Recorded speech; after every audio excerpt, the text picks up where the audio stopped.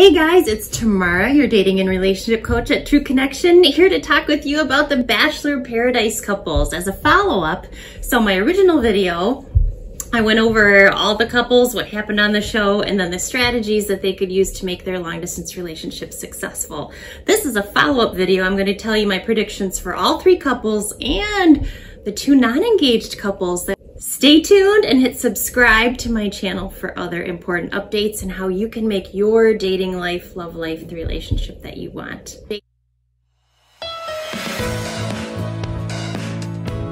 Okay, let's start with Joe and Serena. Joe and Serena, they're gonna make it. So my answer is yes for them, which is great because we're all rooting for them, right guys? The problem is they're in separate countries, which in the land of COVID isn't that easy for them to go back and forth, but luckily the borders have been friendly to them. They're seeing each other a lot and posting a lot on social media. So they're having a ball. They're gonna move either to Toronto or Chicago or New York to start their new life together. That's in the spring.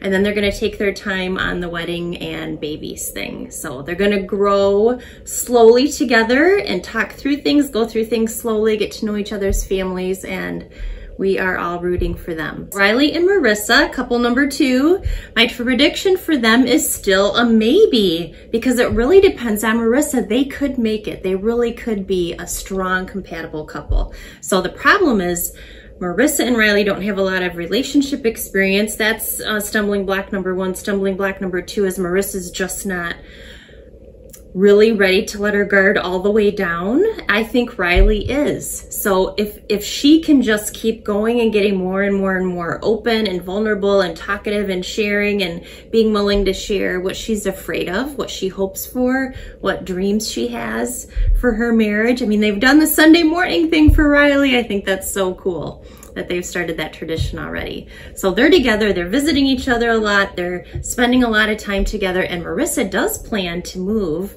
up north with Riley. So good for them. I think it be, will be really helpful for them to be in the same city, get to know each other better, each other's friends and families.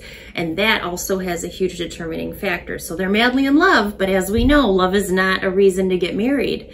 Love is the start to figure out if you are a good couple for marriage. So compatibility and then shared beliefs about rules, money, children, where to live, all those sorts of things are really important and you have to talk about each one of those things in great detail, which I do in my pre-counseling sessions with clients. Um, because you really got to noodle that stuff out because any one of those things can rip you apart once you get married. Okay, so Riley and Maurissa, they're still a maybe. Kenny and Mary. Kenny and Mari. Okay, I'm really excited for them. They're in love. They're spending a lot of time together and she's moving to Chicago. So I'm really excited for them to be in the same spot. Whether they live together or not, just being in Chicago is going to make things so much easier for them. Long distance relationships, well, 50% of couples that are long distance say it brings them closer together. I think it, it just has so many more challenges that you then don't have to worry about once you're in the same city. So they're really doing well so far.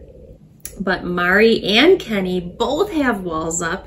So that's their big stumbling block distance and then just not being completely open and vulnerable. And they're both really cautious. And the truth is they've both been hurt um, Mari especially, and she's bringing that into this relationship, which means she she's punishing Kenny for what other partners have done to her, which isn't fair to Kenny. So we'll see if, you know, he can weather that okay. He, he might, because if she lets her guard down and she decides to be open, then absolutely. Really what could get them to the altar, altar more quickly is counseling or therapy because if you can get those walls down, you're wide open, you really get to know each other's hearts, hopes, dreams, and plans for the future, you really can decide then and they could really move quickly if they wanted to and if they really want to get con closely connected sooner. So Kenny and Mari, they're still a maybe, Alrighty, now there's Becca and Thomas. We have two more couples, right, that reunited after the show. And as I said before, no, no, uh, Becca and Thomas, they're not going to make it. And that's because they're just not compatible. So they're in love. Yep, they're happy. That is the first step to deciding if you want to be in a long-term relationship or engaged to someone. But being in love is not enough of a reason to get married. So you've got to have all those shared beliefs, values, compatibility, and she already told us all on the show that he doesn't have a lot of those deeper qualities and points of connection she's looking for. That's not going to develop over time. You either have it or you don't. You can work on vulnerability, you can work on healing your past, you can work on lots of things, but not that. So they're going to be happy and have a lovely relationship for a while. They're both great people, but no, they're not going to make it. Then there's Abigail and Noah. Oh my gosh, so they're adorable, right? They're in love, they're happy, they're reunited, they're traveling to see each other, spending time. And Noah said on social media that they are learning to talk to each other. And I think that's from just being in normal life, right? No cameras, no pressure, nobody's walking into the beach and gonna take your crush out on a date. So I think that really helps things a lot.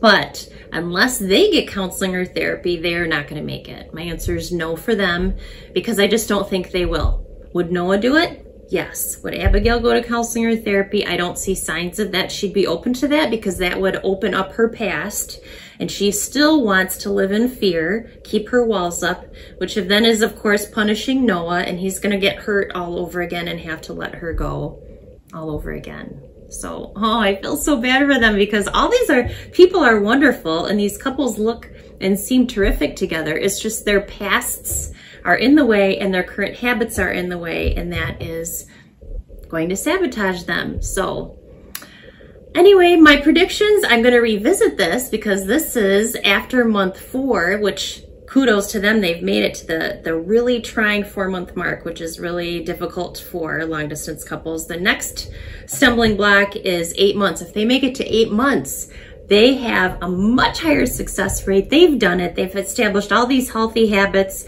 They're seeing each other. They're communicating. They're showing each other how they love each other, even though they're not together. And some of these couples will have, if not all, will have moved in together by then. The three engaged couples, that is.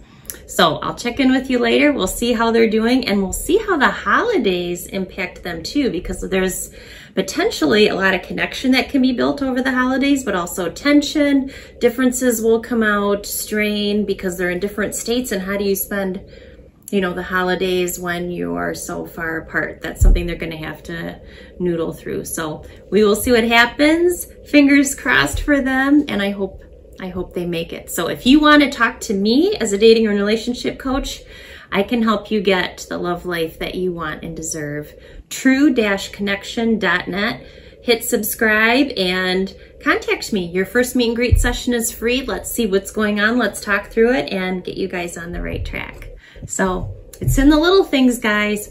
All the little things that you do can help make your relationship great or get you on the right dating path. Talk to you soon, guys.